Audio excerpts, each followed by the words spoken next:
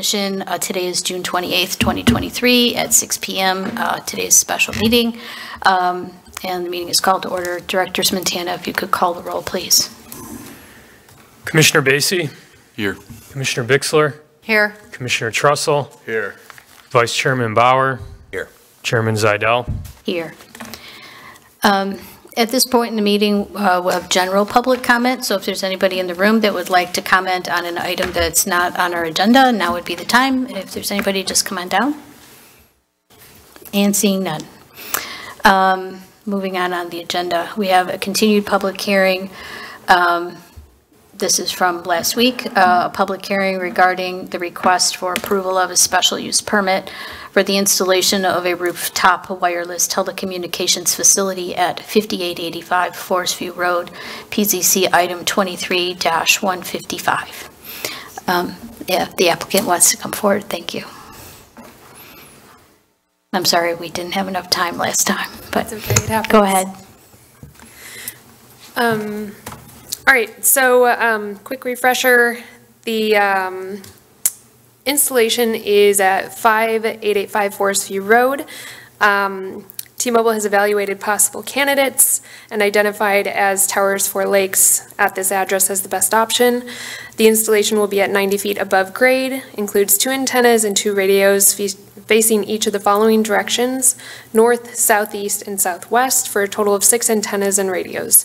The proposed equipment platform with ancillary equipment will be located within the existing brick screen wall adjacent to an existing HVAC unit. All antennas and ancillary equipment will be painted to match the existing building facade. The rooftop facility is accessible by T-Mobile employees, contractors, and other authorized personnel. Wireless telecommunication facilities operate at low power and will not be injurious to the health, safety, morals, or general welfare of the community. To ensure the use and enjoyment of other property in the immediate area, and that this installation will not substantially diminish nor impair property values within the neighborhood, T-Mobile has and will continue to comply with FCC regulations and also consults with numerous other agencies, including the EPA and OSHA. Finally, through the process of this permit application, T-Mobile has demonstrated that this proposed wireless telecommunication facility will conform to the applicable regulations of the district. Thank you. Thank you. Um, At this point, if there's anybody here that would like to comment on this application, now would be the time. And seeing none, um, Director Smetana, is there anything you need to add to this? No, there's not. Okay. Um, I guess we'll, does anybody, any of the commissioners have any questions for the applicant?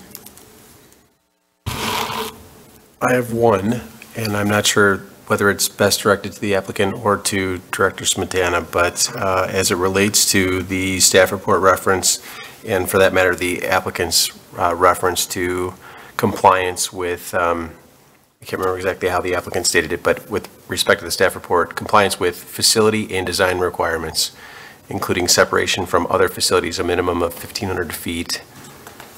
Uh, What are the other types of requirements that are applicable from a zoning perspective to this request? I'll pull that up in the code and answer that in one second. I I don't actually need to know, um, like with specificity, I'm just curious, like general categorization of um, compliance requirements. Um, So you've got the separation distance requirement reference, 1,500 feet. Um, You have the requirement that the equipment be, be painted to, to blend in Yep. with the building. Um, I assume there's a, um, And then there's site selection protocols. There's a series of desirable site locations identified in the code. Um, You know, I think when you look at those site selection protocols, they're, they're, they're geared more towards towers than co-locations. Sure. Um, I- You know, I think if you look at the, the application before us tonight, the fact that it's not resulting in a new tower right, within the village, that it's being co-located on a rooftop, that is a desirable location. We also did go through, based on comments we received um, back in February, um, we had to prove that we had pursued diligent effort um, to locate our site following this protocol. Um, So wireless telecommunication facility ideally would be on village-owned property and structures. There's nothing within 1,500 feet um, of this site. That they are on government-owned property and structures, same response, and then on private institutional property and structures. So those were the three preferred locations, and those did not exist for us at this location, within the 1,500 feet. Understood, thank you. So I only have one question. Is the special use permit um, something that is just for T-Mobile, or does it go with the land?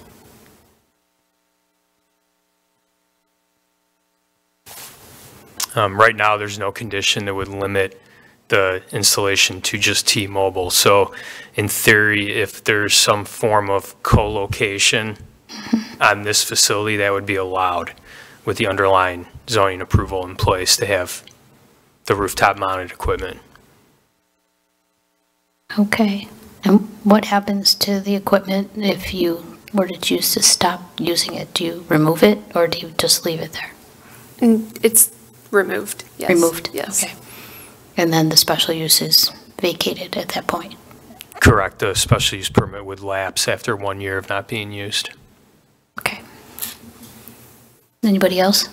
So just to be clear, um, Director Smetana, with regard to your reference about co-location, uh, in response to Chairman Zidel's question, are you saying then that another cellular carrier could co-locate, co-locate at this site, at this specific So rooftop T-Mobile location? would have their antenna arrays on the penthouse of the building. Right. Um, It's not uncommon where you see like an additional carrier piggyback on that existing array. Of course, What I'm saying is that would be allowed.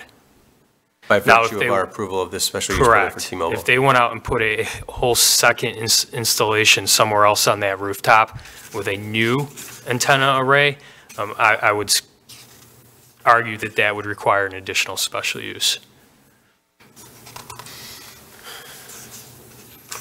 So in the event that some other cellular carrier wants to co-locate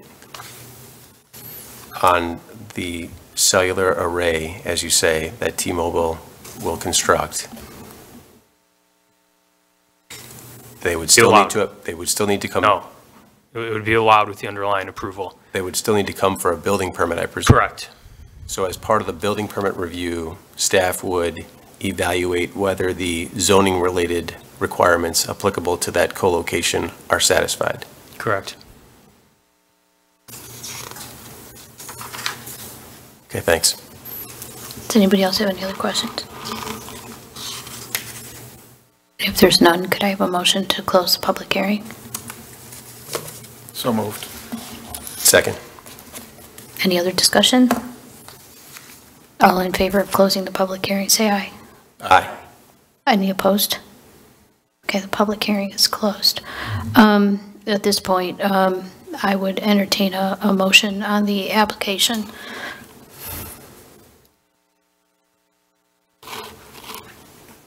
So I think before making that motion, we should spend a couple minutes talking about the possibility of co-location reflective of the discussion we just had, and I guess discern whether anyone has concerns with the potential for that co-location and any type of, um, I guess really, in my opinion, aesthetic impact resulting from that. So I would advise the commission, section 5143B of the village's zoning regulations states that co-located wireless telecommunication facilities on existing antenna support structures are permitted uses in all zoning districts. So, so the code already says if you've got an existing antenna support system, you can co-locate on it.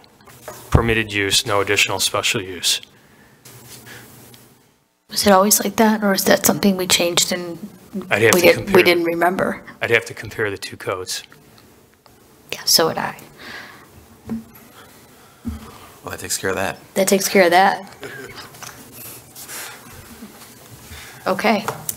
Back to my original. Anybody would like to make a motion, please?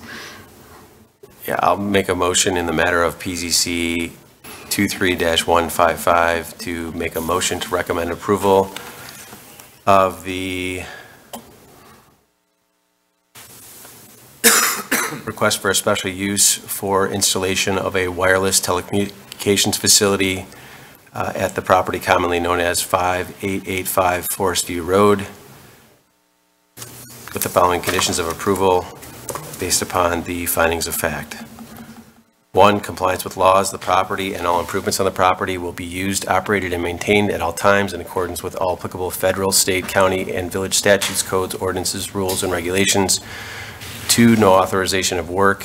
This ordinance does not authorize commencement of any work on the property except as otherwise specifically provided in writing in advance by the Development Services Director. No work of any kind may be commenced on the property pursuant to the approvals granted in this ordinance unless and until all conditions of this ordinance precedent to that work have been fulfilled and after all permits, approvals, and other authorizations for the work have been properly applied for, paid for, and granted in accordance with applicable law.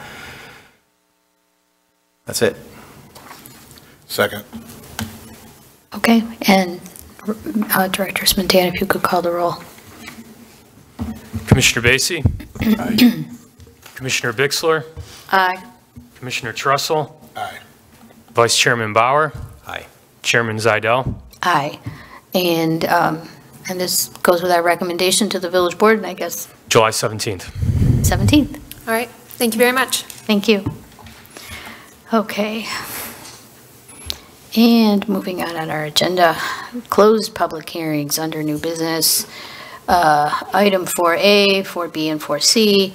Um, This is a request for approval of a text amendment to allow ground floor multi-unit residential household living and live-work units as special uses in B3A Central Business Zoning District and establish various supplemental regulations. Item 22-1383 and a request for approval of special use permits and variances for the property located at 4701 and 4705, 4729 Main Street, item 23-91, and a request for approval of the Lisle preliminary plat of subdivision for the property located at 4701 and 4705 through 4729 Main Street, item 23-92. Um, since hearing is closed, I would suggest we start with the text amendment um, request. Um, Does, do any of the commissioners have any questions for the applicant or staff? Or comments? General discussion?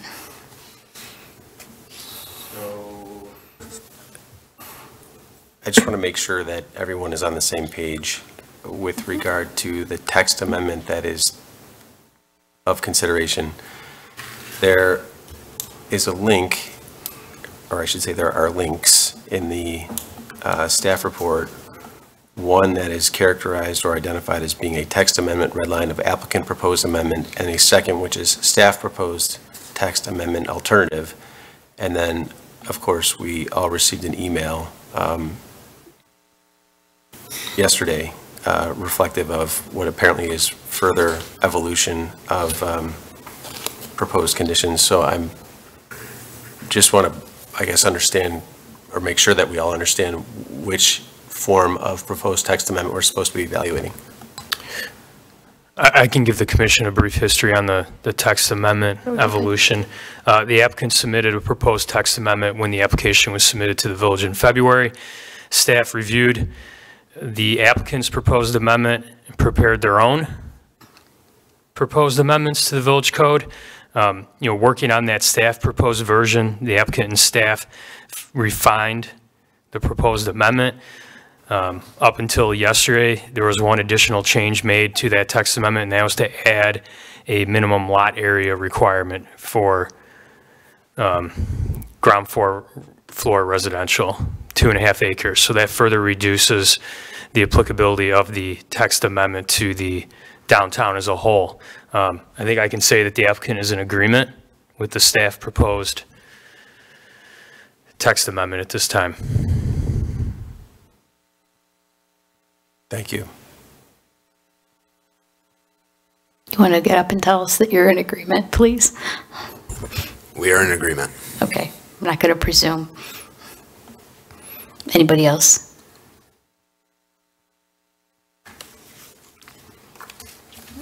If nobody else has any questions, um, I guess we'll ask for a motion on the text amendment.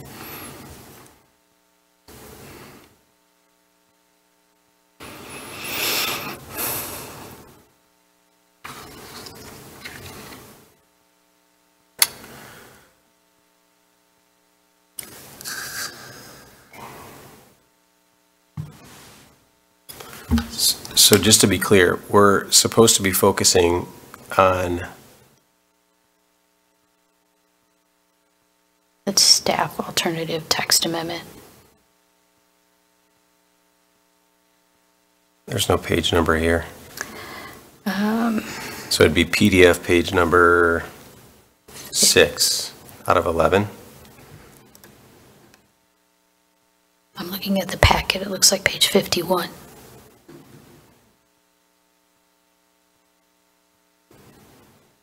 Out of 596, right? Is that where we're starting, the staff? I think you could also staff- just refer to the um, staff memorandum dated June 26th, 2023, titled Red Line Version Staff Alternative.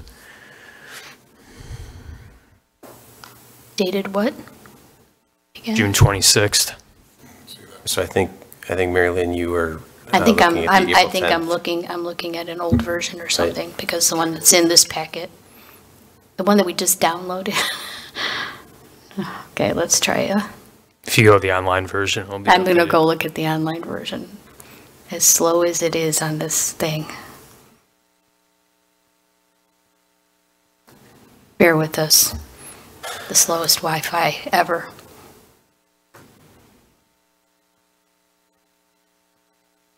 Maybe it's just me. No, it's not just you. Um, And uh, I will say to the extent that I've not made it clear before, I Yeah, really I mean, so, I mean, it's, it's loading the document as I'm sitting here just making small talk, right? But it's that slow. All right, So, The memo's dated June 26th. so if you Yeah. click on the link under um, Agenda Yes. Item 4A, which I that will take you, or should hopefully take you to an 11-page document, which is what I was Yes, referring to 11-page before. document dated June 28th, I, for this item, yes. This is a general um, memo for the whole entire project, though, right? So this is everything that sort of talks about the history of, of what's occurred over the past couple months.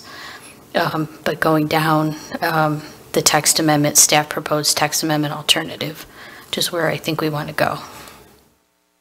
Which begins on page 5, June 26, Yep. 2023, and then takes you to the page 6 Mm-hmm. that I referenced earlier. And so this is where we see the staff recommendation for um, limiting a ground floor multi-unit dwell- dwelling as it be a prohibited use on a lot that had less than two and a half acres.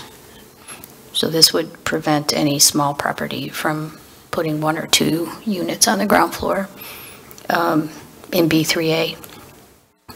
And then the ground floor area of multi-unit dwellings shall not exceed 12.5% of the total lot area. Again, limiting it so that it's not the predominant use on the ground floor. In um, reviewing the packet in advance of tonight's meeting, I remember seeing a version, which obviously is not this one as I'm looking at this, that prohibited ground floor multi-unit dwellings from Front Street. Does that sound familiar? Yeah, we have a portion of B3A on Front Street, we do, right? I think we do. It's kind of not Yeah, consistent. so, so, yeah, I'm, I'm just going backwards. So June 13, 2023, uh, pa- starting on page three, if you go to page four, the version of the then proposed text amendment says, "No dwelling unit shall be located on the ground floor of street frontage on Main Street, Ogden Avenue, School Street, Burlington Avenue, or Front Street." But then if you go to the mm-hmm. June 26, 2023 version on page six, It says Route 53 instead of School Street and Front Street. Right. I'm assuming the applicant does not have any uh, concerns about the elimination or inclusion of streets that are not part of your project? That's correct. And staff? It's- Guys, I think it's a policy decision at this point for the commission and board on how restrictive you want to make that text amendment. Well, I mean, that's, from my perspective, that is the, I think, fundamental crux of the issue here is we don't want to create a situation where ground floor residential use becomes prolific um, in the downtown core. And part of the reason I asked about this Front Street reference is, aside from the obvious fact that it's now eliminated, there is a building at 1009 that, uh, Front Street, that while I've never been in, appears to have ground floor residential. One zero. S- So that block, um, 1007 Front Street, it's kind of in between Spencer Avenue and Center Avenue. That's an existing apartment building, Right. and it's zone B3B. So it's not in the B3A. The only area that we have B3A zoning at on Front Street would be where um, VNR Auto is and Aviva, in the parking lot next to Aviva. And then we have one random B3A zone parcel at the corner of Front and Riley Place. It's an industrial property right now. So I'm assuming that the uh, slide that's on our monitors now is reflective of land areas? Current zoning. So it's both. I, I was trying to mm-hmm. anticipate what could come up as part of this discussion. So what we put together here is, this is, if I go to the previous page, you'll see that this is the current zoning designations, which is part of the downtown Lisle master plan. What we did is we worked through GIS and we identified different parcels um, that are underlying that zoning. And so we identified, in some cases, ownership. So if you see that the yellow is Prairie Walk Pond, or um, you, you can see we've identified the village as two owners of parcels along Garfield, which are 1.79 acres. But then we went through and otherwise identified sort of blocks or parcels where they made sense to group them together. Some of these are multiple parcels that were already grouped together or are already unified ownership, but we were kind of trying to show you what is the, what is the context, where could you, how could you possibly get over that two and a half acre threshold? So this gives you that guidance, because remember, this text amendment is only applicable to B3A, which is what is showing in red. Thank you. So, um, a question. So if adopted and the prohibition is in for, um, dwellings prohibited on lots that are less than two and a half acres, if a future development wanted to pursue this, but they were under two and a half acres, is that a text amendment to change the two and a half acres, or is that a variance? It would be a variance from a numerical standard. So it'd be a variance to reduce the minimum lot area requirement for ground floor dwelling units from 2.5 acres to whatever is proposed. Pick a number up there, 2.14, whatever. Are you sure about that? Yeah, I, I mean, I I it- believe so. Um, I'm The asking- village's zoning regulations state a variance can be used to modify any um, numerical or quantitative standard of the code. So the, um, but it would be kind of a use variance then, wouldn't it? I mean, and it, don't we have like explicitly say we don't allow use variances? Correct, but that's why you'd be applying the variance to the numerical lot area requirement. so the, the current form of the Lisle zoning code identifies what I'll call variable variations, meaning things that can, things for which variations can be sought. Correct, So not everything can be varied. correct.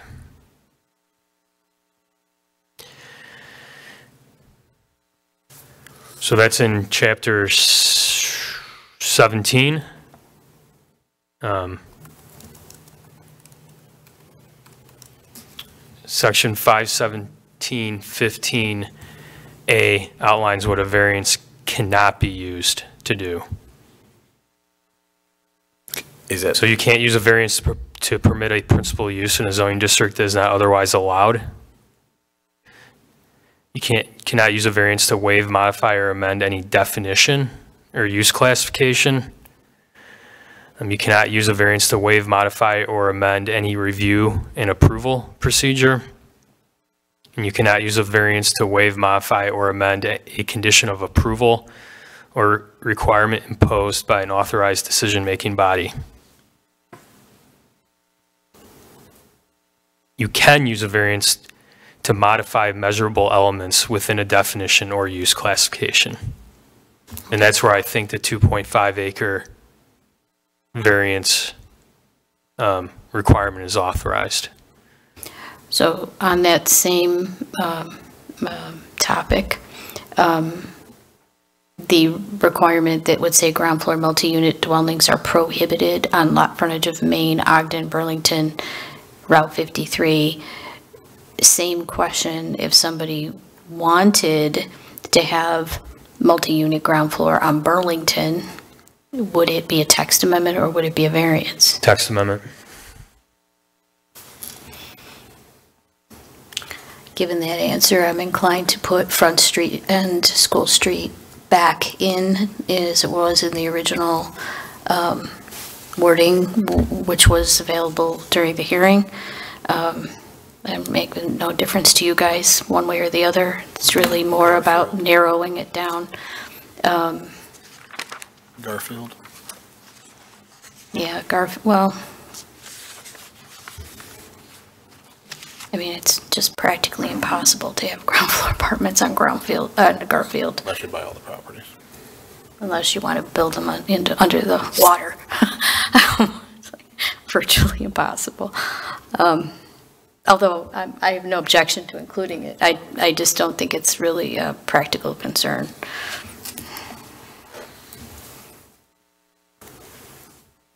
Yeah, Steve, the, Steve, the only street I, I think that's even got a potential for short-term use regardless of Commissioner's comment about flooding is Garfield. That's the only place that, you know, Burlington Avenue is already covered.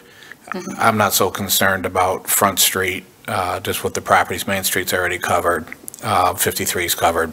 It's really the standout, you know, is, is, uh, Garfield. The other one isn't, uh, applicable on the other side of Spencer, so just maybe put in the language that you want, if you want to cover all of them, and then we can kind of move forward off of this. What do you think? so to be clear, you're suggesting the addition of Front and Garfield? Yeah, I- yeah, just let's throw them in there and, and move forward. Does that sound fair? Sounds reasonable to me. Um, With regard to Spencer, um, obviously, the applicant is desirous of excluding Spencer from the streets identified as it relates to its project-specific proposal. But what about the portion of Spencer south of school?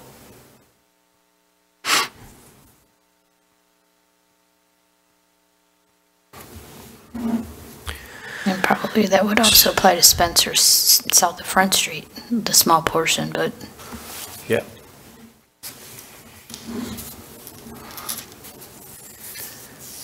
So Spencer, south of school, got the fire station to the east, that's not zoned B3A. That's zone B3B. So uh, the only potential properties would be the northwestern medical building and the building next to that. Um, You know, Marquette's a new development, they're not going to demolish that or revise the footprint. And those two parcels west of Spencer, south of school are not even an acre. Well, what if, um, for example, Mark on Main, if, if the current or future owner of that project acquires additional land area and now meets or exceeds the two and a half acre threshold, the village could then find itself reviewing a, a special use request um, to establish ground floor residential use at Mark on Main From Marquette? from the current or future Well, owner. That would be a PUD probably and go through a big- Marquette. big, long Mark on process. Main's a PUD, so Okay. introduces That makes me feel another better. level of regulations. So just add those two streets? Is there anything you want to cover on the live-work unit part of this text amendment? I mean, I think we're clearly saying a live-work unit is not a, not a dwelling unit. Is that correct? It's not considered, a live-work unit is not a multi-unit dwelling unit. Are we all comfortable with that language?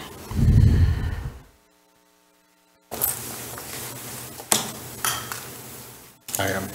Okay? The only thing I would say on that is to add the same, whatever we're adding in additional streets on the ground floor apartment, the same language on the On the live-work. prohibiting on the same streets, addition to that.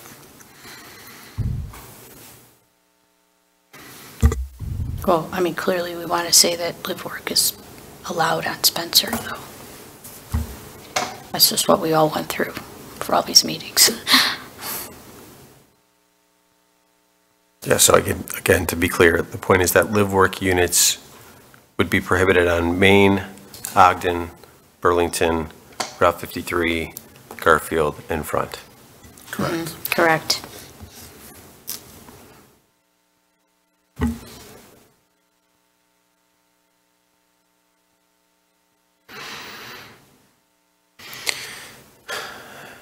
Um, How about section G of this live-work unit regulation? I'm assuming that the applicant, that you've gone through this list of uses for live works and you're fine, or, Yes, that is correct. okay.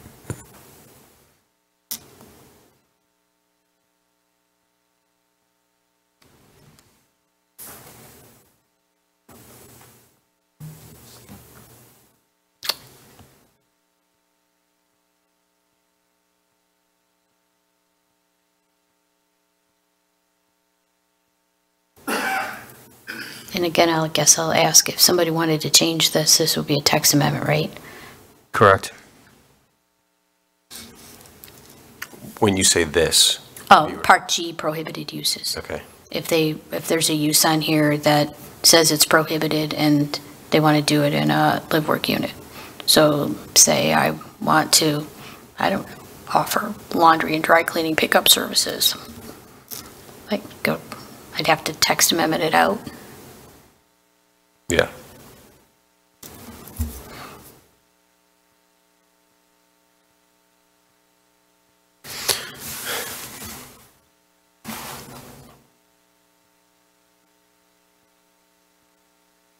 Okay, I don't think you have to read it all. I'm definitely not. Okay, good. But I'll still ask you to make the motion. Okay, so in the matter of PCC 22-1383, I'll make a motion to recommend approval of the proposed text amendments to Title 5, Chapter 7 of the Lisle Village Code, specifically as identified on pages 2 and 3 of the staff memorandum from Director Michael Smetana dated June 26, 2023, to establish definition and reg, and related regulations concerning multi-use, excuse me, multi-unit residential use and live-work unit uses. With the amendment of adding Oh, sorry. Um, uh, Subject to uh, item 4B of the regulations pertaining to a multi-unit use, uh, reading as follows. Ground floor multi-unit dwellings are prohibited on lot frontage of Main Street, Ogden Avenue, Burlington Avenue, Route 53, Garfield Avenue, and Front Street. And also that Section 5C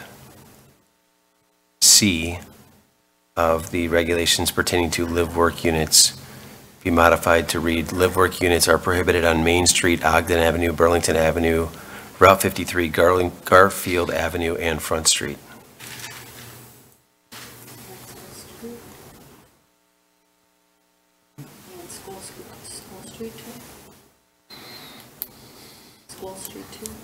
I hear the question, I'm thinking, what did, I don't even recall discussing that.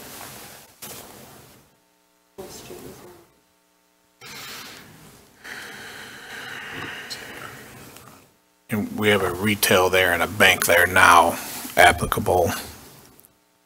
I mean, why don't you just, there's one, one small section there on school that could potentially come forward to us right here. Side of the street. Yeah. Yeah. So why don't we throw School Street in the language and just cover all the bases? Fine. And including School Street with respect to both sections 4B and 5C. Okay, and can I have a second for the motion, please? Second. Any further discussion? I I mean, the only thing I would say is, we have not gone through the uh, standards related to the um, text amendment. I will say that I have reviewed the applicant's um, proposed findings of fact, and I don't take issue with them. Right, so the findings of fact is submitted by the applicant, right? Correct. Okay, any other discussion? Okay, we'll have roll call, please. Commissioner Basie? Aye. Commissioner Bixler? Aye. Commissioner Trussell? Aye. Vice Chairman Bauer? Aye. Chairman Zaidel? Aye. Okay, moving on. Um, Again, comes the slow part. Um,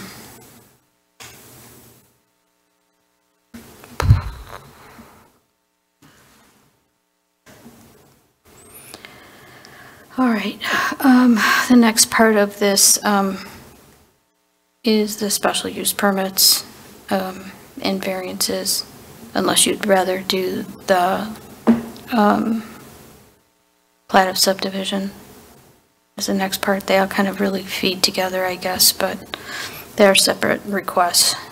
Let's do them in order. Okay, so this is for the special use permits and variances. Um,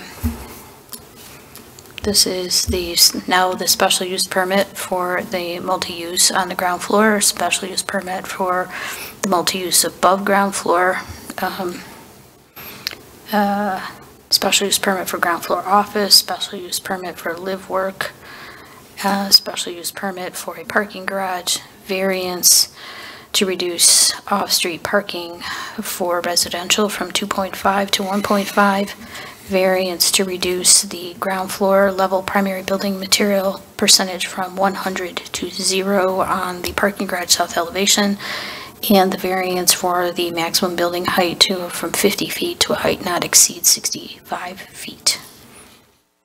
So um, I guess maybe we'll just start with discussion about where everybody's at with all of these and go from there. Any comments, questions?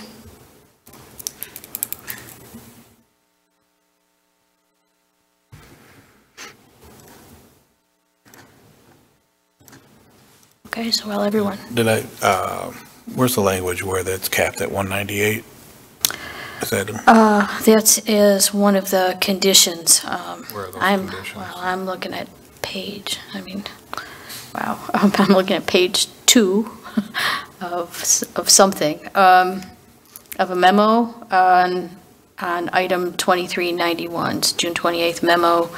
And as you page down, there's a series of conditions, and it says that the total number of combined multi-unit dwelling units, I suppose multi-unit plus live-work, um, if we're going to say live-work is not a multi-unit, whatever, shall not exceed 198. However, the composition of units, studio, one-bedroom, and two-bedroom, may be altered as long as the total unit count does not exceed 198. With the clarification that 198 includes six. Does not. Does not include six live It does not. So a live-work unit is, you know, with that In text addition. amendment that will be approved, um, defined separately from a Okay. multi-unit unit. Okay, So in the end, there are a total of 204. Correct. Sorry. And the um, conditions identified on page two of 536 pertaining to this item 23-91 are now updated to be reflective of the conditions identified in your email from yesterday? Is that correct? They are updated and the applicant is in agreement with them. So I guess I'm just trying to confirm, I don't need to be concerned about the similarity or dissimilarity between them. We can focus only on the staff report. Correct. Great. Can you refer, how many parking spots are being allotted to the bank? 25. It's 25 total? I thought that number went up for some reason, no? Okay.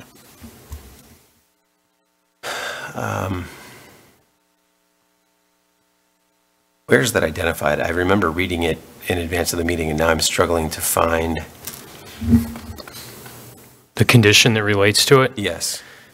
So the second to last bullet point states evidence of a grant of easement for the benefit of 4733 Main Street shall be submitted to the village.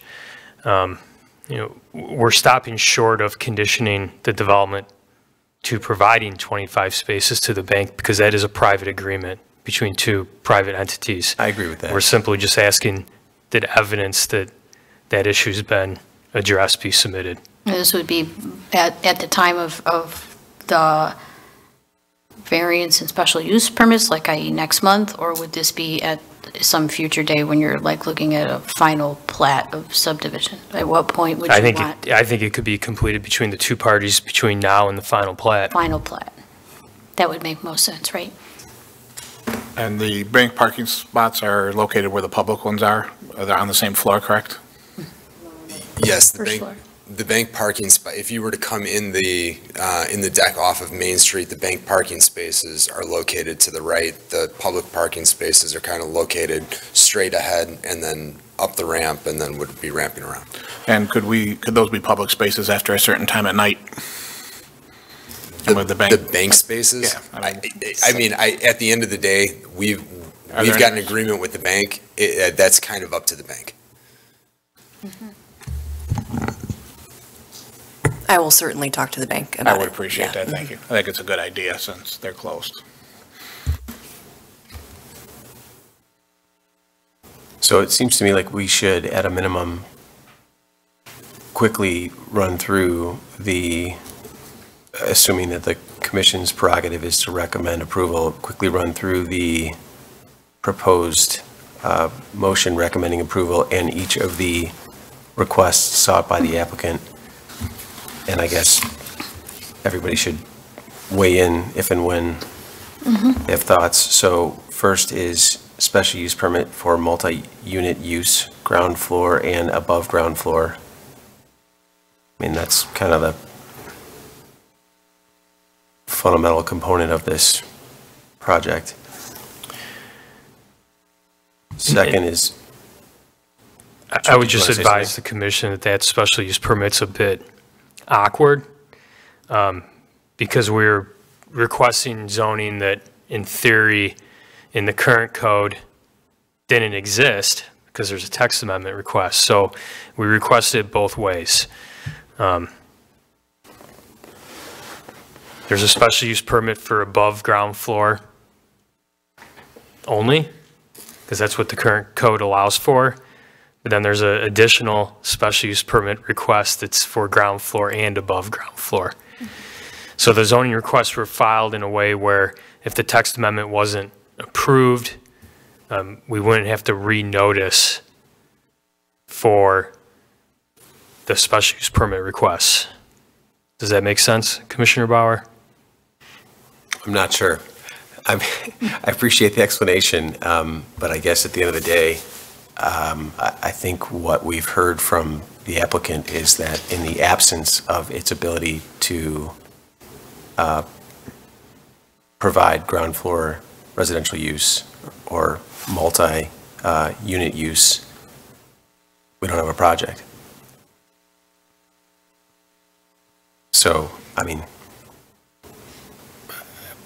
I appreciate the um, explanation, but I, I think it's a non-issue from my perspective.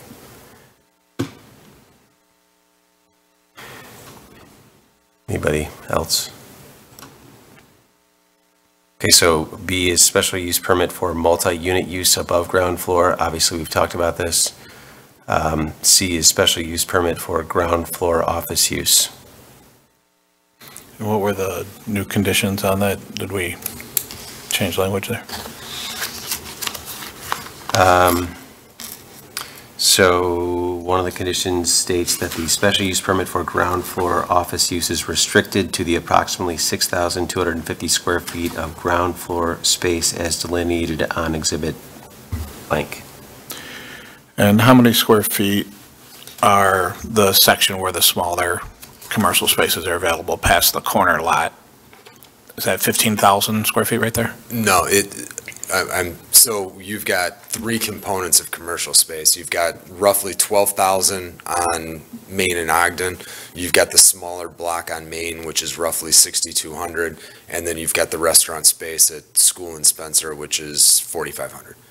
So the, the special, the, the limitation that we imposed, or I I suppose we amended our request for a special use and specifically limited it to that 6,250 square foot block of space along Main Street, which is um, south of the entrance to the parking garage.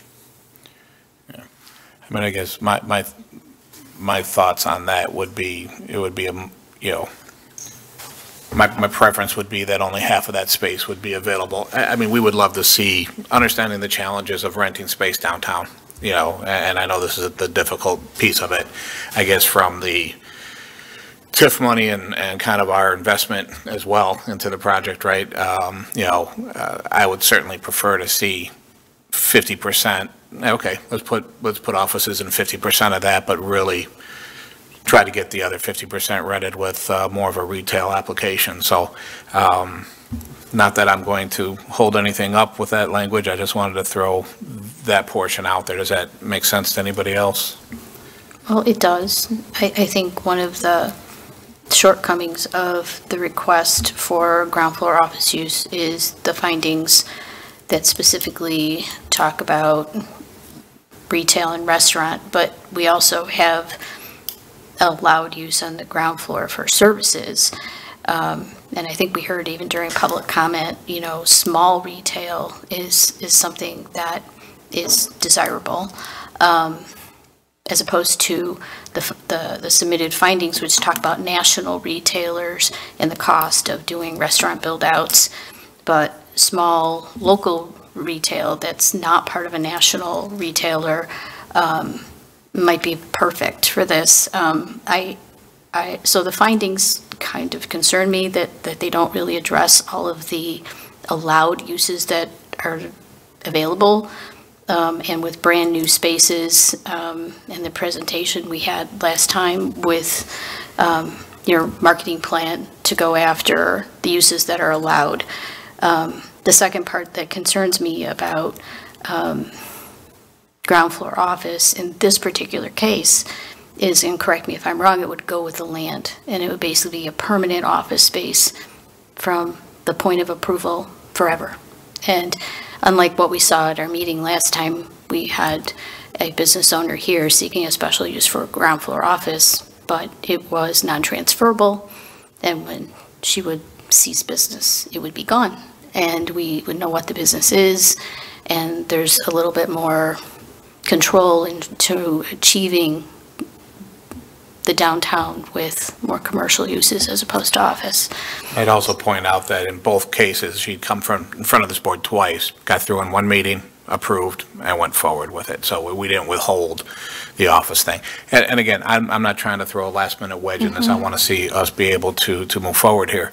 Um, You know, I, you know, you know, even with the, the member from the public that came forward at the last meeting talking about boutique, boutiques, boutiques, boutiques, and then when we tried to explain to her that this was talking about offices, well, I get, you know, I mean, I think people's expectation is that we would have some retail business in that space. You know, and maybe it would be just as good to, I mean, your goal is to put retail first into that prior to an office? Yeah, and that, I mean, that was the testimony last time, right? Just because, I mean, just because we're permitting an office to locate there, doesn't mean an office has to locate there, right? So when we say in perpetuity, it's going to be office, I don't, I, I, I think, I, I know what you mean, mm-hmm. but knowing that we're on TV, I want to be able to characterize that and say, it's not that it will be an office forever, it's that we have the right to utilize it as an office forever. So I think the intent is, you know, we're, we're very concerned about the mix of uses that will be going into this project. If they could be all retail, I think Yahtzee, we all win, Flaherty wins, you guys win, residents win, um, and that would be great. But we're talking about twenty-four thousand square feet of new space in downtown Lisle. And we, we looked at, uh, we looked at marketing brochures that showed that retail space on Main Street was leasing for eleven and twelve dollars a square foot. In Naperville, it's leasing for fifty dollars a square foot. So there's a, there's a huge gap. If there was, if there was some extraordinary demand for retail space, uh, or service uses, like was suggested at the last meeting by one resident, then those spaces would all be filled. There's a, there's a nice little building at the, at the corner of Main and Burlington that's for sale for six hundred thousand dollars on, or five hundred thousand dollars on a three thousand square foot building. I mean, great opportunity for somebody. But the fact of the matter is, those spaces aren't filled up. So now we're going to flood the market with twenty-four thousand square feet of additional space. Our goal here is saying, as we do that, we're interested in getting occupancy. Occupancy is important. So if the only way that we can get occupancy as we begin to try to lease this up and bring more vibrancy to downtown is to put some offices in it, we'd like the flexibility to do that. So I, I think it's, the, at 6,200 square feet, um, we're talking about a quarter of the total space, uh, new, com- new commercial space that we're bringing to downtown. So it doesn't seem like an unreasonable request. I- if there's a desire for boutiques, if boutiques are common, we're going to certainly fill them in that space. Um, So I, I I think at this point in time, we've limited it from the 24,000 to the 6,000. I think we'd like to stick with that, um, but we, you know, we're, we're happy to continue that conversation. And, and, you know, I, I take his, you know, points very seriously. I, I mean, obviously, there's uh, some difficulty renting. However, this project represents some new excitement down there as well. And I think where the, the money that the taxpayers are providing for the project, the hope is that that excitement, those new 198 apartments, or 206 it is now, uh, with the live work, will build that excitement, and we'll finally get a thriving downtown with businesses in it. So we're hoping that that square foot per price goes up because of, of all the other things that, that uh, we, we are moving forward with in that downtown area. Um, Again, I'm not, other than just to say, you know, uh, to me, it would be a lot more comfortable to do that. I certainly don't want to limit your guys' ability to put something in there. I'd rather have an office in there than have it sit vacant. I I just wanted to make the point that the last person that came in and asked us to approve a special use was that in and out of here in, what, 20 minutes? With an approval for the, the office space, and, and then it's not a permanent item. Again, I don't, I don't want to derail this, I don't want to extend any more meetings, um, I just wanted to give my opinion on that. I mean, that's, that's the- like the primary concern of whether or not it's transferable or it's, basically goes with the land. That's my primary concern.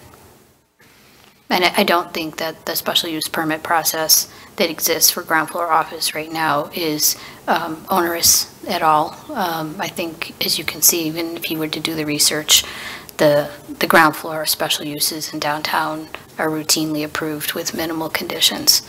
Um, I mean, we even removed all the parking requirements for offices. A- And I It's think, you know, gotten significantly easier. and I'd be fine making some of them permanent if there was something to say, hey, office, retail, office, retail, uh, you know, just to kind of give us that ability.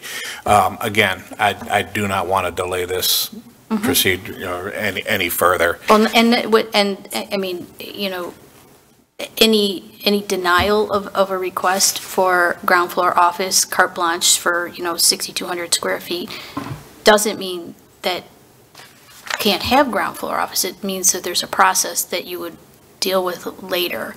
So get the building built, you're working on leasing it up, and you're asking for that at some point when you have a better handle on what is the market, you know, two years from now, when you're, when you're filling it up, because you're not filling it today, absolutely, um, right? Um, and, you know, who knows, it could be substantially better, it could be substantially worse in two years. Um, I mean, I'm guessing, I'm putting words in your mouth, I don't know if it's two years. I'm, um, But that's kind of where I'm at with that one, so I don't, I don't know if anybody else has any opinions about it. I think you heard a lot from me and Will.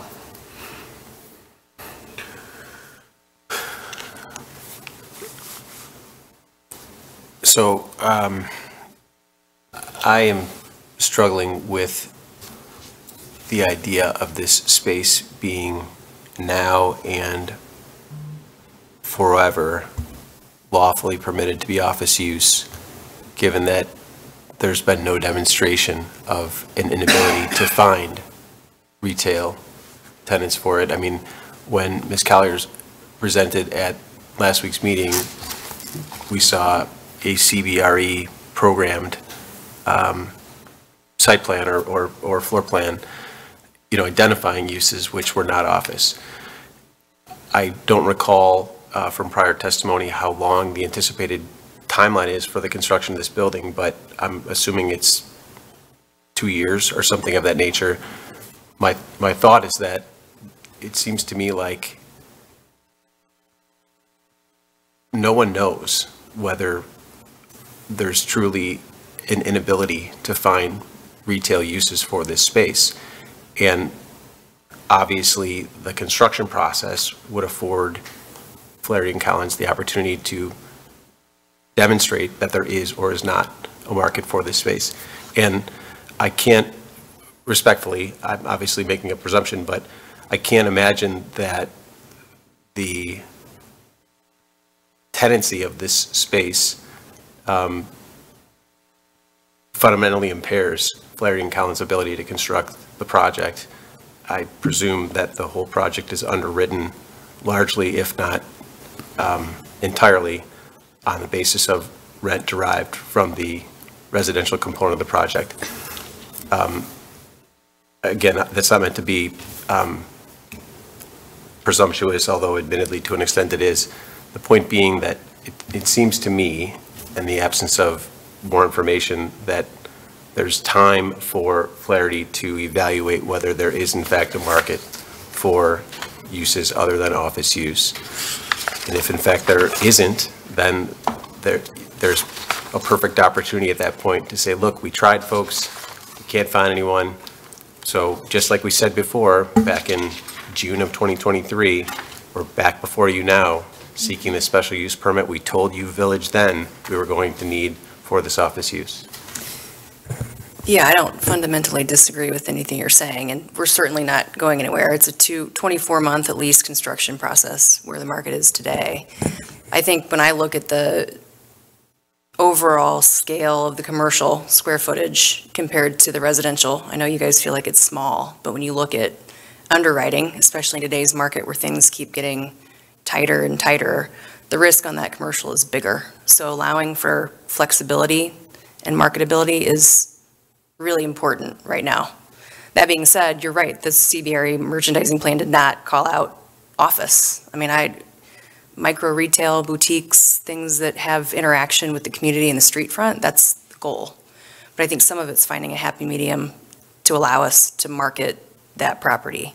And everything is so hard right now. I think allowing that flexibility allows us to focus on getting the front end of the deal done at this point. So, you know, getting all of the construction lending hammered out, that's going to take work. We've got, you know, some of it done, but getting all of that tied up um, and all the other pieces that come with it. And so, yes, allowing flexibility for marketability is what we're after at this point for that space. So, That makes complete sense. And I guess, you know, sort of uh, two fundamentally important components of what I think also needs to play in here, uh, but is not necessarily directly related to what I said, is, number one, I'm struggling with the village's participation in this project via TIF funding.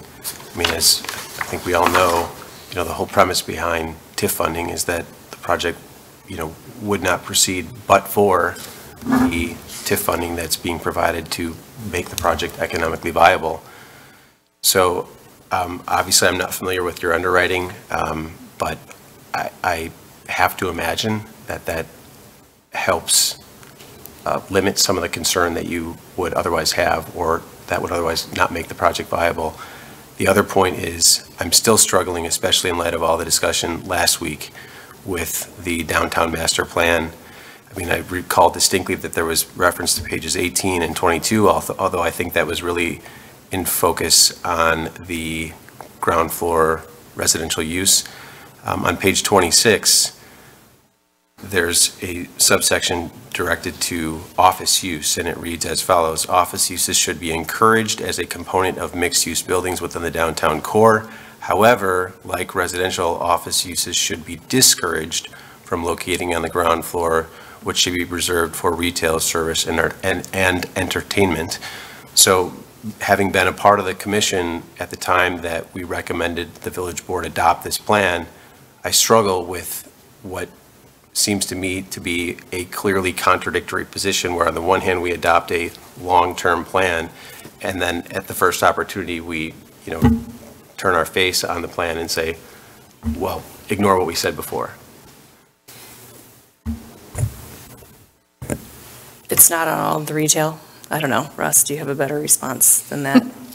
I, I know, I, I would just say that, I, I don't think you're, I don't think it's ignoring it, right? I think the, you- you're absolutely right. It says office use should, should be encouraged as a component, but should be discouraged on the ground floor. You know, eh, we're, we're discouraging them on the ground floor by making three quarters of the total commercial space that's being provided, um, not, not available for office use. So there is a small portion of the, of the total commercial square footage of this project that we're asking to be used for that purpose. I mean, at, at the end of the day, right now, the most important thing for the village of Lisle is this project getting off the ground. And I think you've got the developer here telling you that in order to get this project off the ground, it's important to be able to include an office component. Um, at the end of the day, I've, I've been in an office downtown Naperville for 20 years. I was where uh, Water Street development is now. Um, I've been on Jefferson, I'm on Aurora right now. I can tell you I've got in 3,000 square feet, I've got 16 people. Um, and those 16 people eat out downtown every single day. I was at Sweet Greens for lunch this afternoon. I know it's a 50th birthday in our office this week. There's a bunch of people going out, like half the staff is going out for lunch tomorrow. So there is, there is a tangible benefit that's being provided if you have that type of activity downtown. So I, think that while there's concern that you don't want office to overtake your downtown, I think that given the scope of downtown and the level of improvement that's being provided here, I think office can, office can serve as a critical component of supporting the restaurateurs and the other retail users that are downtown. I mean, I don't, I, I don't think Walgreens in downtown Naperville would be quite as successful without our office half a block away, right? There is somebody there constantly. So I, I just think it's, you know, as part of a mixed-use development, um, office is a component of mixed use in the downtown. Um, and it's, a- it- from our perspective, it's appropriate in limited scope as we've proposed it here.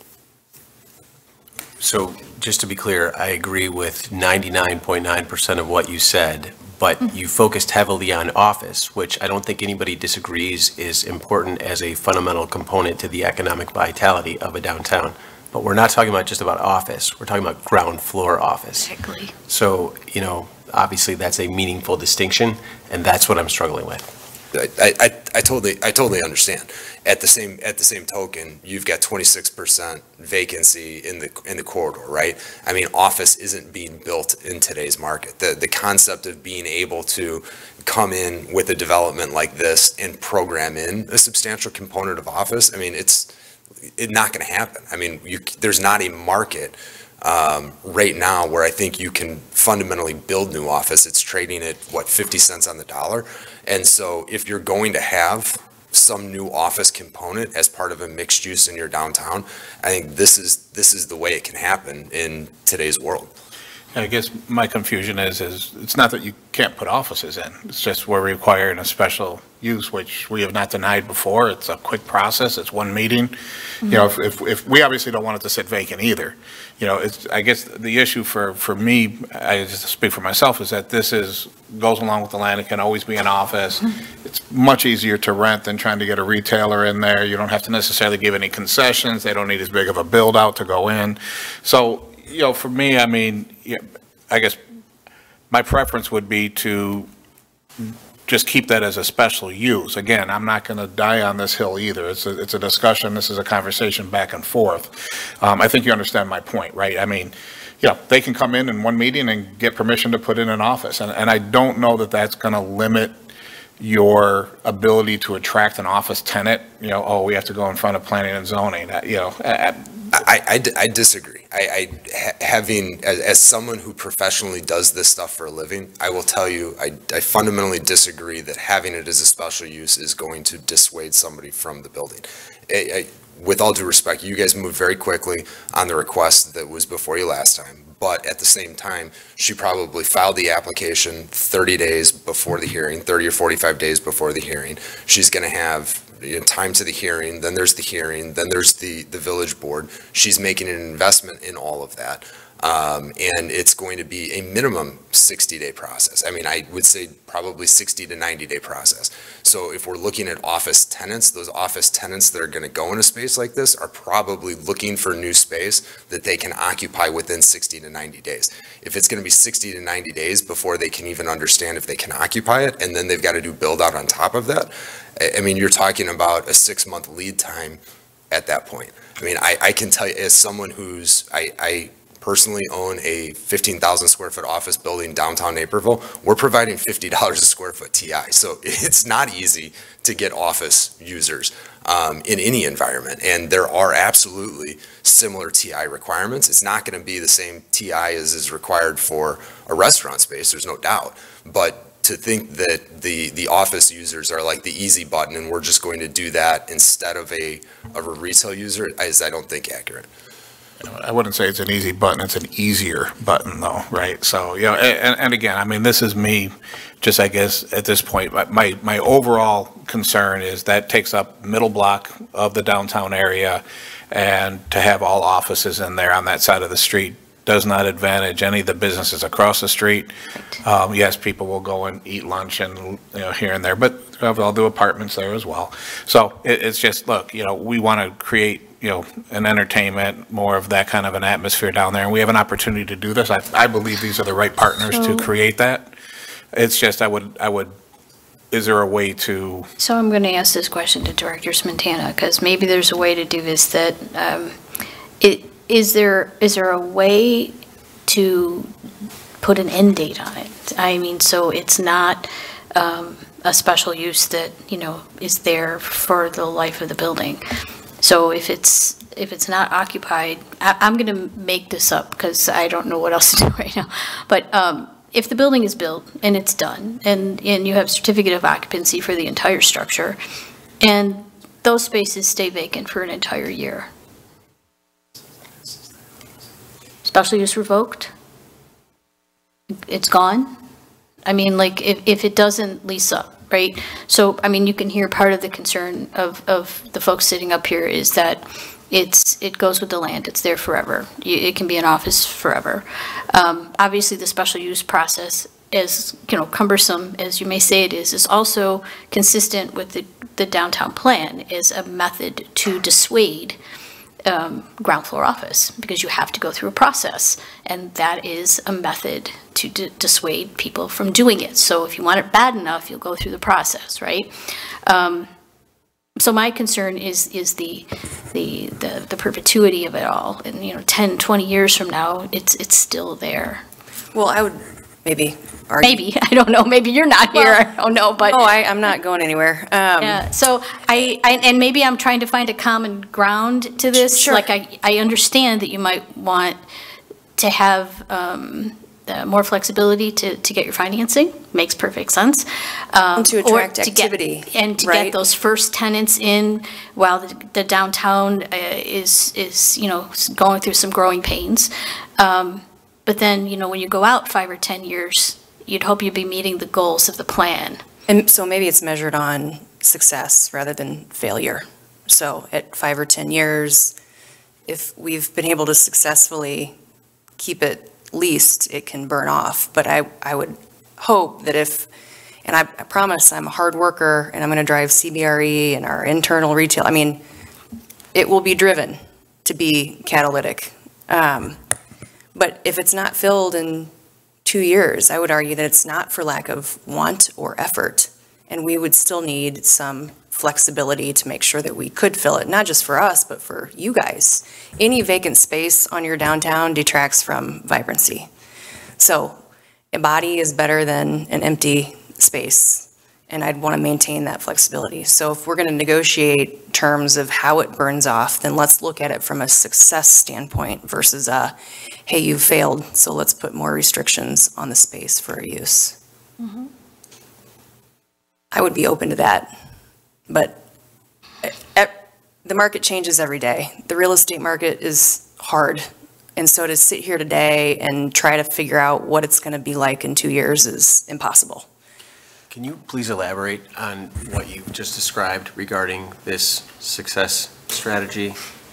Well, so we open and we have it leased and it's, you know, vibrantly leased to maybe an office user or two and some retail boutiques and it stays this way for an extended period of time, then maybe this part of, I don't know if that's even possible, Russ, of the special use burns off. And, and if a new tenant wants to come in and have a new office after the first generation of space users exits, then that's a threshold to meet, if that makes sense. So to be clear, you're saying that um, if you're granted a special use to permit office use in this portion of the building, but you instead rent it to a non-office use, and you do that for some period? I'm uh, saying anybody, anybody. So let's say we lease it to an office and we get a, a great term. And I think office has a um, old-fashioned connotation too. It's not just a bunch of boring attorneys who sit in 3,000 square feet on Main Street all the time. Um, No offense, Russ, but, I mean, that, you've got a lot of um, young people who are in startups and the tech world who want just an office space, and those are catalytic individuals too. I'm saying lease to anybody, the second generation of lessors after those initial lease terms have burned off, because they could be five or 10 years, but maybe it's a vibrant user. Then that special use can, or whatever it is, I'm Mm-hmm. Then, then you go conflating through a terms. process. Then they'd have to go through a process on second-generation space. Like space. that idea. And I thi- I think to be fair, uh, office lease usually is five years the first plus tenant. renewal, five-year term, or is And it you're- three? And you're, is it five? Oh, I can't speak to that. I mean, I, I I would be amenable to, initially, you guys can put an office in there. The first tenant that's an office does not have to appear for a special use. The second tenant, if that person does not renew, has to become in front of the board for a special use to be put in office. That's what, that's basically what you Does said. that sound, Yeah, but I'd, I'd probably want to put a timeline on it too. Like, what if someone comes in and flakes on a lease in a month, then the intent really isn't there, right? that's fair.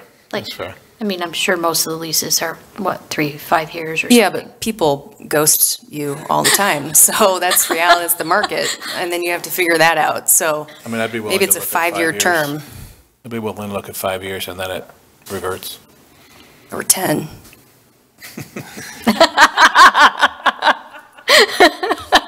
So the end of what? Because in, uh, so Steve, one of, one of my concerns would be that if I had somebody in there, I couldn't have them, I, I couldn't have the special use burn off and somehow have a problem with the renewal of their lease. Sure. Um, I, that, that to me is, is problematic, but I, I can understand where Julie's coming from. If there's a, if there's, you know, it's about getting occupancy early on. So if we do that, if, if I have a fifteen hundred square feet space leased, that person's in there for five years, they're moving on, and I'm looking to re-tenant that space, at that point in time, you guys are looking for, we'd be looking for a new special use. It seems like a good compromise to the issue. Something else to consider too, um, and this was part of a concept a while ago, and we couldn't come to terms with Elevate Office. They're the micro office and retail suites. It's a growing concept, it's a vibrant concept, it's a great way to get people in your community, in incubator spaces, to test it out. And so allowing flexibility for office users there too, I would hate to In that Exclude case- that, In that right. case, the, the, a, a company like Elevator, any of the other ones out there, that would actually be your tenant, right? It, Like a region where they Yes. come in for like a, a, a month or something. well, yeah, it can be month to month, but they end up, I mean. your tenant is the it- provider, right? Yeah, and those things are great because they're relatively low risk for people to try out new businesses. And you don't just get office users there, you get, um, and I think there are people in your community who would love to test it out for a, a place to showcase artwork or have a boutique that's not a deep, you know, traditional retail building where they're taking risk on all of that space and having to fill it up and sell enough merchandise to support that. So having some of that flexibility too for some of those micro suites is what we're after as well. So, and Julie said, Julie said five to 10 years. So everybody heard five years. That's correct. Ten. So, like, just, just thinking about how we're pulling this back, right? So I, I think that though, well, a, well, I'm thinking about an office lease, and yes, a, a common off, office lease term would be five years, and they might have a five-year option. Um, at the same point in time, there's going to be a build-out offered with, with any occupancy of, of new tenant space, right? And so you're, when you're offering whatever it is, fifty dollars a square foot of TI for that build-out, you're not, you're not amortizing that, that investment over five years, right? It's a longer return on investment because all of these build-outs are expensive today. They're very expensive today. And so I think that that would be, as I'm thinking through all the implications, that would be my hesitation on five years, right? So we get a, we get that first tenant, even if that first tenant doesn't renew, you've got existing office space that's five years old. This stuff's fully built out. It's in good shape after only five years. And now we're not going to be able to reuse that. So, um, or potentially not able to reuse that, I guess. So I, I guess I would ask for it to be a little, I, I would ask for us to push beyond that five-year term. I mean, perpetuity is really long time. Um, five years is going to come and go really fast. And I think also just mindful of the conversation that it's going to be two-year build-out, right? We're talking like five years from occupancy or five years from CO. So I, I think we can, I, I think we can work on that stuff. I don't know if we feel like we've got to refine and detail all of that now, or if we can work with staff and the village attorney on some of this language, but I, I think there's enough stuff here that we can kind of So come I- up with something. I, I, I agree with most of what you said. I, I think what's important is that if, if we approve the special use for ground floor offices, that it's, it's limited. And so what that limit is, whether it's five years, 10 years, or whatever, it's just that it's not 50 to 100 years, right? It's not the life of the building. Um, and, and so whether that number is tweaked to something that makes sense, I, I see it as a way better solution than forever, if you would. So I don't know if Director Smetana wants to jump in here and figure out how this would be worded for us. I, I mean, I would, I would kind of propose that this is, I mean, this is something we're gonna live with through financing, so I'd like a little bit of wiggle room on this. So if we had a. So if you had the 10 years that you threw out at the beginning, do you think that would provide what you need? And, and I was, I was even gonna say, what if we just had a little bit of an open-ended condition, right? That, and we do, this happens in a lot of places. There's mm-hmm. Feedback from the village attorney on this stuff. So the- we're, we're looking for an approval of a special use for office on 6,250 square feet, subject to the condition that petitioner, village attorney, and staff would work on some limiting conditions with respect to the, the time um, or a a termination date on that special use. And I, I'm, That I'm saying language is good for you? that, that That would be fine for you? that would be good for us. Yeah, I was just gonna say, I- I'm not the expert on leasing this type of space, so it would be a conversation I'd want to have with CBRE on what's going to hamstring versus allow freedom. Okay, so I'm good with that. I think that, I think that takes care of the primary concern, that it's forever. I'm good with that, I'm even good with up to 10 years. Yeah, we'll just leave it so that all the parties can work it out so that it's not forever. Okay. How about you? Commissioner Bauer, you're, you're, I'm just kind of laughing because if, if that's the case, if that's how we're going to make this uh, recommendation, then the motion can be quite short because we're making a motion to approve items A through H, all subject to further evaluation by village staff in consultation with the village attorney and coordination with the applicant. We don't even need to identify all of these proposed conditions. right. And does anyone have any questions or concerns about the variance for parking or the variance for um, building materials or the height variance?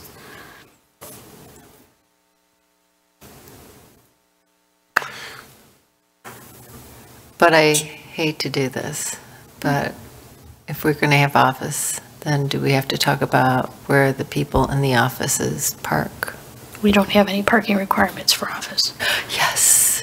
So the answer is no, no discussion. Done. We have a parking variance for residential. In my opinion, I think they've met the bar to show 1.5 parking spaces per dwelling unit is adequate. And if they find it's not, you will suffer the consequences thereof. So I need a 30-second or less refresher on the request for a variation to reduce the required ground level primary building material. That's in relation to the parking garage, correct?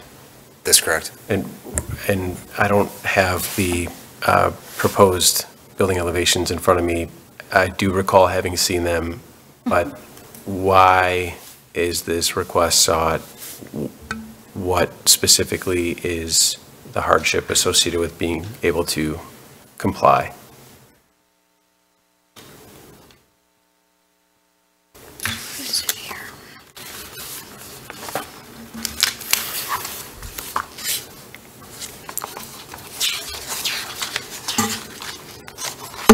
So um, we're looking at the, uh, the south elevation here. Um, So what we're talking about is just the ground floor of the parking deck. The parking deck is, the parking deck is going to be uniformly uh, a precast structure. What we're requesting is that we be allowed to use precast on the parking deck um, in lieu of some other masonry material, I guess. I, I think the, the parking deck is going to be stamped. Uh, The parking deck is going to be stamped, and so I think we're, we're looking for uniformity here. Um, What you can see in this image is that a significant portion of the parking deck is going to be covered um, by the bank building um, that is adjacent, and then there's sort of back of house and function space also adjacent to the parking deck. Um, So I think this is not going to be necessarily a visible, a vibrant area. Um, I think the, the addition of, uh, of a masonry material, I, I guess it would be some sort of um, inlay into the precast structure if we had to do it, um, I, I think adds very little value. One of the things that we talked about and proposed as an alternative is that um, the goal was sort of an arts type area, as we talked about the, the live workspaces. Um, and we had actually proposed that we would, um, we would hire an artist and we would do a mural. Um, we weren't specifically specifying that it was going to be on that exact area of the parking deck, but we had um, sort of some standards for hiring an artist, working with the village, selecting an artist, letting them do to the design, identifying the exact location of the mural, um, but creating some higher aesthetics. So the, the goal here is not that we're just trying to save uh, a couple of bucks or not designing to a standard. We just think that we can, we, we can create better aesthetics in some different ways. Um, and I think the mural was a, a creative, a creative means for us to put a foot forward and say, we think this is more consistent with the character of what we're trying to do here in creating some, uh, some unique vibe in downtown Lisle um, than is putting a little additional masonry, um, inlaid into precast on the first floor of the parking deck. Thank you. So obviously, it's difficult, given that the um, parking deck is um, grayed out or or uh, softened in um, vibrancy of color. And I recognize that that's because it's supposed to be reflective of it being recessed uh, from the uh, eastern portion of the south facade. But what will the actual color of that garage be when you say it's stamped concrete? Is it going to be a red similar in tone to the brick shown on the, uh, you know, forward portion of the south facade?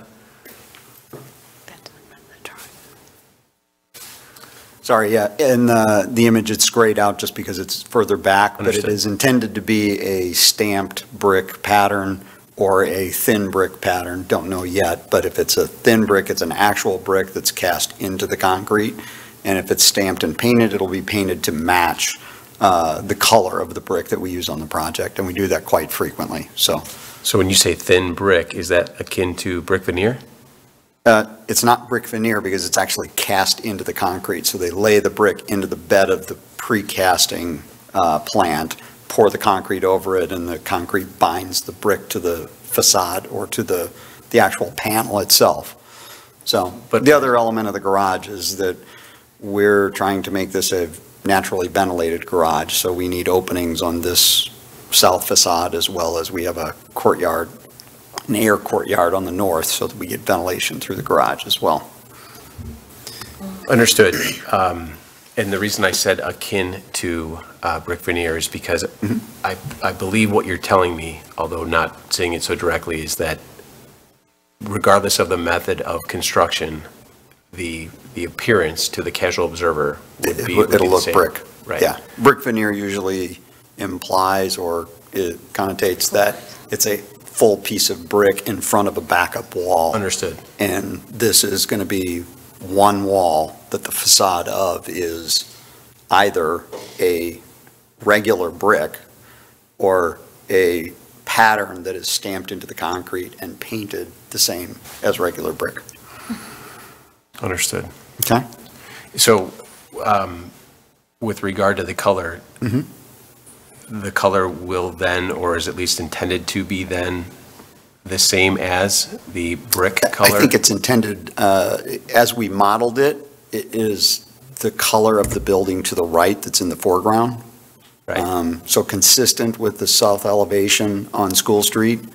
Um, It's that same color. It's been grayed out, obviously, to emphasize the part of the facade that's right up on the sidewalk on School Street. And I, I think, right, the other, one of the primary reasons that we're focused on first floor masonry materials, right, is because that's where people are walking, that's the street frontage, that's your interface. And so if I'm this far from a material, I can see and understand the textures and that material differently, right? I want, I want the real stuff right here, whereas up there, I couldn't tell if that was plastic or if it was wood, right?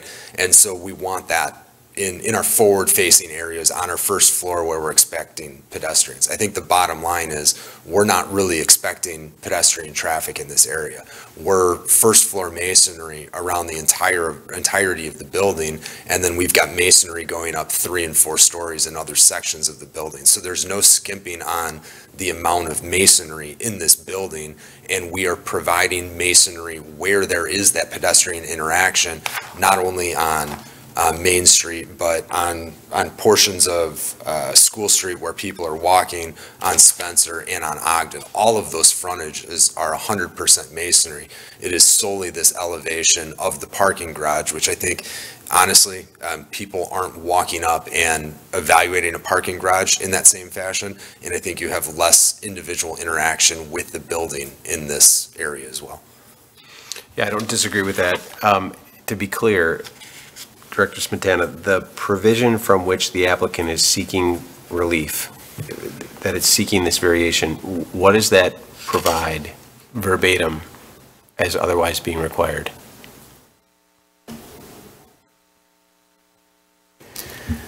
So that provision,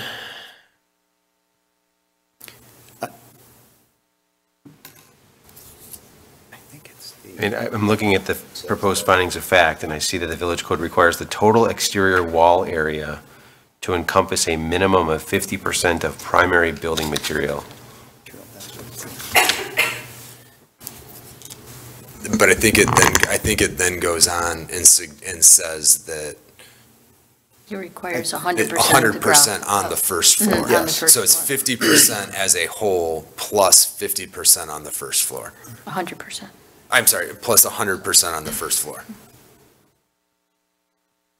Commissioner Bauer, would you like me to read the full ordinance text? No, I don't think so. If, if that is the gist of what the provision requires, that's adequate for my purposes. I mean, I think, um, as a practical matter, if the downtown becomes the success that I think we collectively, meaning the applicant and the village, hopes it becomes, then while this comment is not by any means meant to um, make any suggestion relative to the life of the bank at this location, but I have to imagine, again, assuming that the downtown becomes as vibrant as everyone hopes, people are going to be knocking on the bank store left and right, trying to build a new building at that location that then uh, encompasses the entirety of the bank site and um, largely blocks the uh, parking garage facade that is at, is- that is at issue. So I guess with that said, my point is, um, provided that the color of the parking structure wall will be the same as the um, brick color on the um, portion of the building in the foreground as the uh, applicant's architect is represented, I don't have a problem with this. Is there anybody else?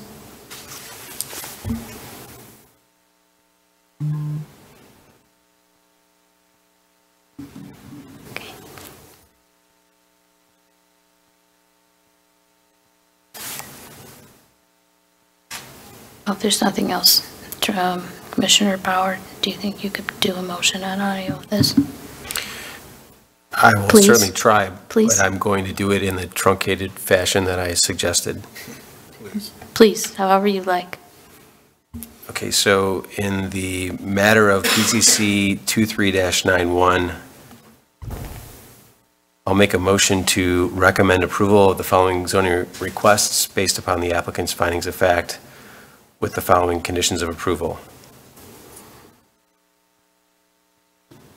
A, a special use permit for multi-use unit, ground floor and above ground floor.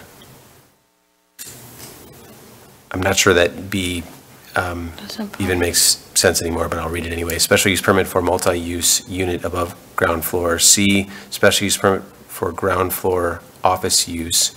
D, special use permit for live-work use, excuse me, unit use. E, special use permit for a parking garage. F, variance to reduce the required off-street parking requirement for a residential multi-unit, including live-work units, use from 2.25 parking spaces per dwelling unit to 1.5 parking spaces per dwelling unit.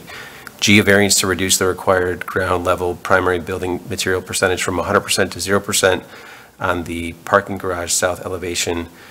And H, a variance to reduce, excuse me, a variance for, for the maximum building height from 50 feet to a height not to exceed 65 feet, uh, subject to conditions substantially similar to those identified on page two of the staff report dated June 28th, 2023, based upon uh, the applicant's collaboration with staff and related acceptability by the village attorney. Okay, Second. Okay. Any, any other comments about that? We good? Director Smetana, roll call. Commissioner Basie? Aye. Commissioner Bixler? Aye. Commissioner Trussell? Aye. Vice Chairman Bauer? aye. Chairman Zaidel? Aye. Okay, last one, uh, preliminary plat of subdivision. Um, Let's see, does anyone offhand have any concerns about this? I mean, it's basically just a consolidation of the lots. Agreed. It's quite fundamental to the project.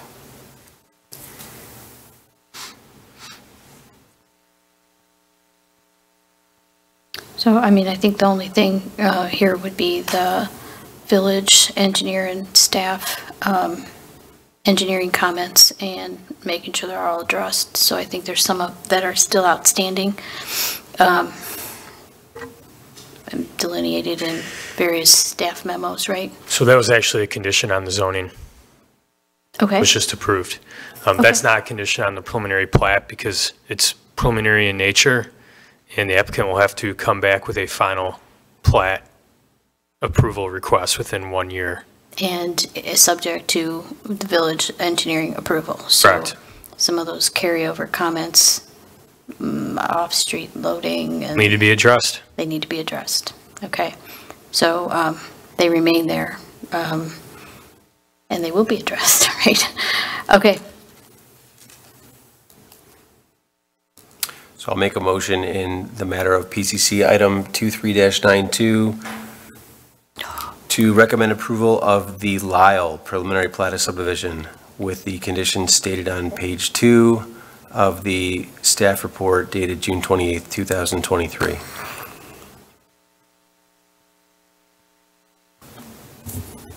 A second? Second. Any other discussion? Uh, Director Smetana, roll call, please. Commissioner Basie? Aye. Commissioner Bixler? Aye. Commissioner Trussell? Aye. Vice Chairman Bauer? Aye. Chairman Zaidel? Aye. I think that takes care of it all. Okay. Uh, Anyone else have any questions, comments, or can I have a motion to adjourn? I motion to adjourn. Second. All in favor? Aye. And we are adjourned. Thank you.